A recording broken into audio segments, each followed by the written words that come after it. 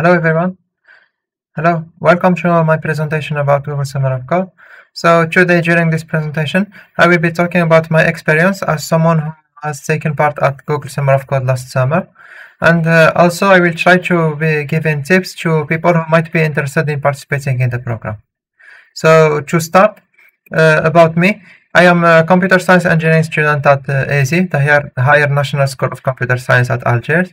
So I am currently uh, doing an internship at Eurecom, which is a French engineering school. I love cybersecurity. I participate in capture the flag contests with the pseudo team. And also I love open source software and I contribute to open source software in my free time. So what is Google Summer of Code? Google Summer of Code is a program managed and run by Google. It's a program where students are paid to contribute to open source software. So during summer, uh, uh, students uh, spend their time working on uh, uh, implementing features uh, to integrate with open source software, and they get paid by Google. So the projects that are uh, that, uh, that are uh, that students work on during Google Summer of Code are usually very um, popular projects that have a very high impact. So it's really really um, uh, a program where students get to integrate the software engineering world. So uh, let's talk about my experience before I start uh, giving tips on the program. So I participated uh, in Google Summer of Code 2020 uh, at Metasploit. So I worked with a team of engineers from Rapid7. Rapid7 is the company that uh, maintains uh, Metasploit framework. So what I did, I implemented an SQL injection engine to the framework. So a library that other people can use to write modules uh, uh, taking advantage of uh, SQL injection vulnerabilities. So Metasploit is the world's most used penetration testing framework. It's a it's a project with millions of lines of code. It's really a very very popular project that uh, anybody who has learned uh, cybersecurity has probably used uh, Metasploit. So uh, a summary of my uh, work is available on my blog post on my blog you can follow this link if you want to read more uh, i even included my proposal pdf if you need to uh, check uh, which uh, my proposal that got accepted and everything so okay so before taking part at Google Summer of Code, I was really interested in open source software, as I've said. So I was uh, I, I spent some time contributing to projects.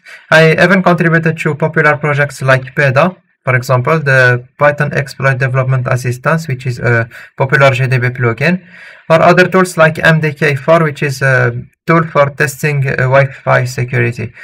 So uh, how I started contributing to open source? Actually, I started uh, doing Hacktoberfest, Hacktoberfest, which is uh, uh, something uh, that runs every October. So uh, people are people are encouraged to contribute to open source, and they get a free T-shirt from from GitHub and its partners if they send a given number of pull requests during the month of October. So uh, during October uh, 2019, I wanted to start contributing to open source software, so I uh, I took the opportunity of Hacktoberfest and uh, contributed to a few uh, projects. And uh, then from there, I uh, really got interested and started looking for bugs in popular tools I I loved using and uh, tried to fix issues I found. so, for example, when I find an issue in uh, something I use in my uh, on a daily basis. I always try to find um, the root cause why the issue happened and if I can not fix it I just open an issue. If I can I try to fix it and send a pull request. So when I wanted to apply to Google Summer of Code uh, actually I only did one uh, proposal. Uh, actually in Google Summer of Code you can apply to up to three projects so uh, in Google Summer of Code, uh, first uh, companies apply to be selected to take part uh, in the project. So in this step, uh, Google does some selection. So Google selects uh, companies that participate. then companies showcase a list of ideas that they want students to work on, and people are free to to apply for and one uh, for uh, for to implement one of the features that are uh, suggested in the ideas or to suggest a new idea that is not present there. So it's always a good thing to apply to to organizations and projects that uh, match your skill set because uh, it's very competitive. The program is very competitive. There are a lot of people applying. So the it's it's always better to to be uh, uh to choose the project that matches your skill set the best. So then in your proposal you try to write about yourself of course. You try to write about um, uh, projects you've done in the past, about your resume, about everything, and you try to also suggest, uh, try to discuss uh, technically how you would implement the feature you want to implement, or uh, how do you, uh, you see it. So, uh, for example, in the SQL injection engine I suggested a design how it would be used in modules and then I I actually that the design was very good but then I used it as um, as a goal, uh, as a final goal. So I started trying to implement the engine to get something that works uh, that way. So it's good to have uh, something innovative or something that shows that you are able to do it. So it's also uh, always good to contact mentors before you uh, send your proposal. For example, before I sent my proposal, I asked two or three people from uh, Rapid7 for feedback on my proposal. So I sent them the, my draft proposal and asked them for feedback and then they, uh, of course, they they gave me some feedback and I addressed the issues and so on. Uh, just because mentors are much more likely to select a student uh, they've seen uh, who contacted them uh, asking for feedback or something than someone they've never seen because it just shows your uh, engagement. It shows how much you are interested in the project. Okay. So actually, I only applied to Metasploit, as I've said you can apply to up to three projects. So uh, when you are about to apply, of course, uh, the first uh, criteria is to look for a project that fits your skill set. Uh, for example, if you are uh, if you are good at uh, I don't know if you are good, for example, at at Ruby, for example, in my case, I use Ruby on a daily basis, just like in every place where people use Python. So I applied to Metasploit because I know the code base is written in Ruby. So, and I know that um, there aren't uh, as many Ruby programmers as Python programmers, for example. So I had, of course, less competitors. Uh, even if other uh, there were other people applying, uh, I'm sure most of them wouldn't have uh, like uh, a good experience in using the Ruby programming language. Okay, so then after you apply, of course, mentors do a selection. They select uh, how many people they accept, and it depends on the organization how many slots are available. Some organizations have a lot of slots, and uh, some others don't have a lot. In my year, for example, Metasploit, there were only two slots. So uh, uh me and uh, someone else got accepted. So uh, after you get accepted, you get uh, you usually get an email from one of your mentors uh, to uh, he would congratulate you and then ask uh, you to schedule a meeting or something. Then uh, during the the month of may uh, students are expected to to try to familiarize themselves with the code base. So they would try to um, prepare for the coding time. They would try, for example, to uh, fix open issues, to uh, understand the code base, to try to uh, debug issues and understand how the code works and everything like that, and also integrate the community. because uh, in a project like uh, Metasploit, the, they are over uh, 800 contributors. Uh, currently, there are uh, more than 30 active contributors who are actively commenting and writing code and everything. So just to integrate the team, it, it takes some uh, time. So after I got accepted, uh, uh, just five six or seven days after being accepted, I sent my first pull request fixing an issue, which is an issue actually I had found earlier. So uh, just trying to understand how the issue was, uh, uh, why it was occurring and how it happened and everything. So uh, during the first month, it's always good to look for open issues and try to fix them. So for the coding period, the coding period starts from June and it uh, it usually takes three months. So it's always a good thing to show regular progress to your mentor. Uh, there are no uh, uh, global guidelines, but uh, organizations can have their own guidelines. For example, during my Google Summer of Code summer, I had a weekly meeting with my mentor. So I had a, meeting every Friday where I discussed issues and things I had and asked him questions and showed him progress and everything like that. So it's uh, about questions. It's always good to ask about things that make you stuck. So everybody gets stuck.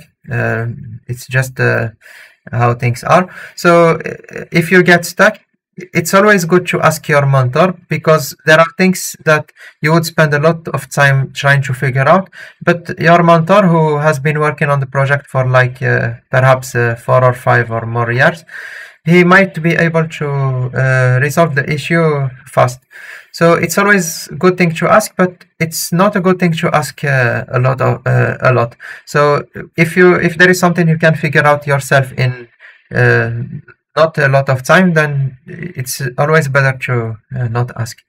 Also, it's a good thing to show your progress on the uh, on the global rep repository of the project. So it's always a good thing to push your uh, work to GitHub to uh, or GitLab or whatever you use for version control.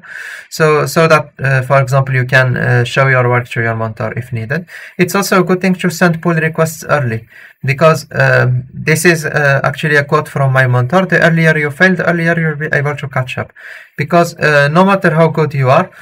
Uh, it's an iterative process. So software engineering is always an iterative process. So you start with something and then uh, of course there are uh, issues that will arise and there are uh, there are changes in the di direction where the, the project should be going and everything like that. There is also feedback from the community because as I said, in a project where there are seven or eight hundred contributors, it's hard to to make something that uh, everyone is happy about.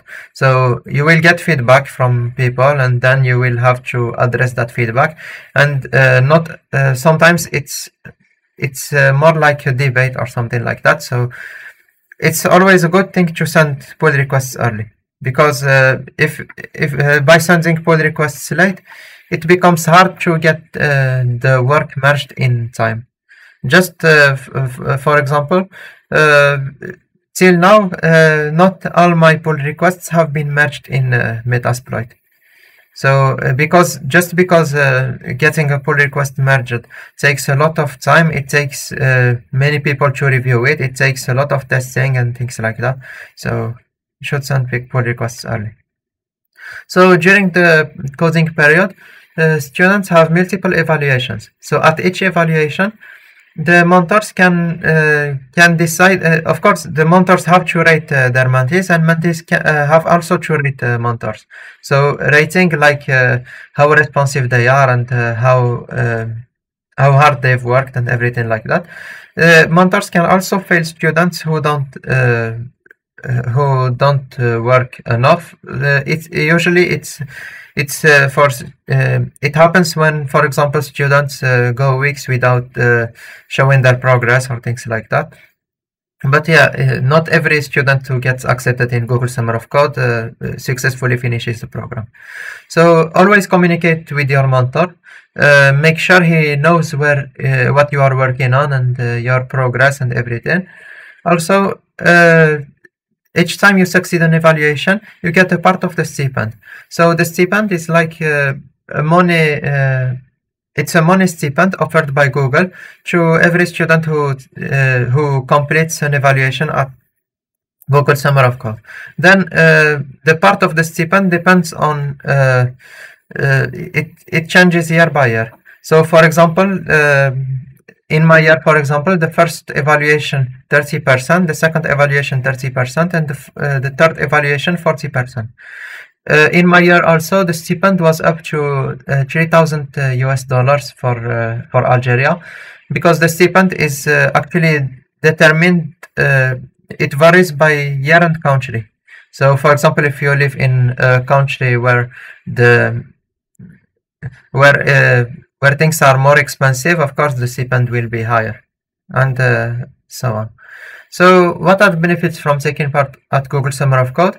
Uh, a certificate from Google, of course, it's a very uh, valuable certificate that can be uh, added to that can add value to a resume. A stipend, of course, it's uh, it's like uh, usually it's uh, a few thousand US uh, dollars. So, and also networking with software engineers and working on impactful software.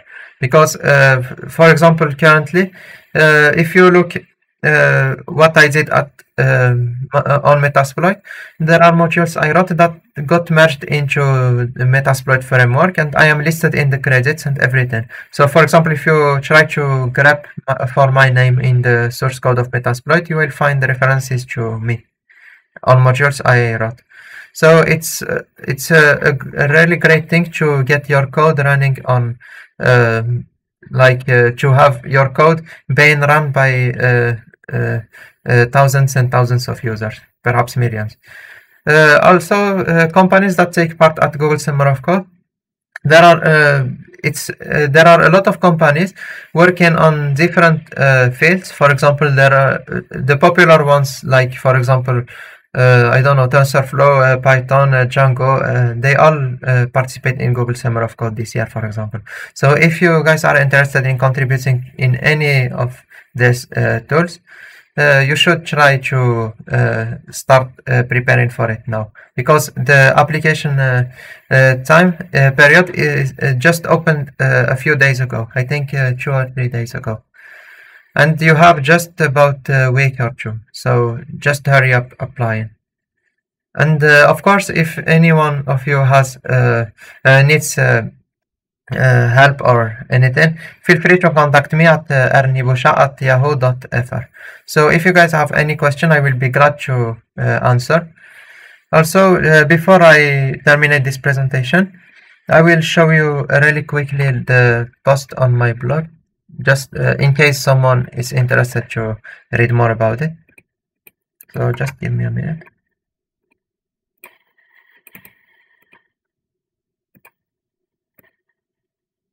Okay, I think you see it.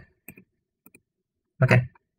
So this is actually a write-up on what I did.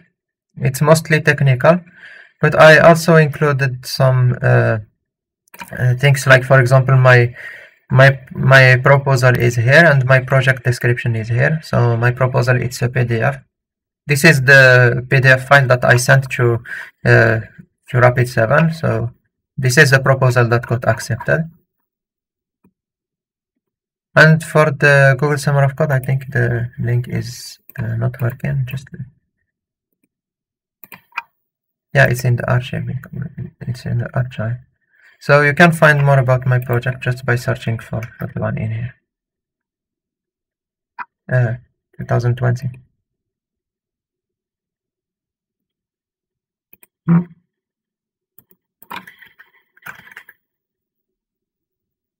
Yeah, you see it. This is the description of my project. Uh, these are my mentors, Spencer and OpenMe, uh, which I'm really thankful to. They were really amazing uh, mentors. So, and this is the, my blog post. Okay, so I hope this was a useful presentation. And if you have any questions, of course, feel free to ask me to contact me at uh, rniboucha at yahoo.fr. So, okay, thanks and take care.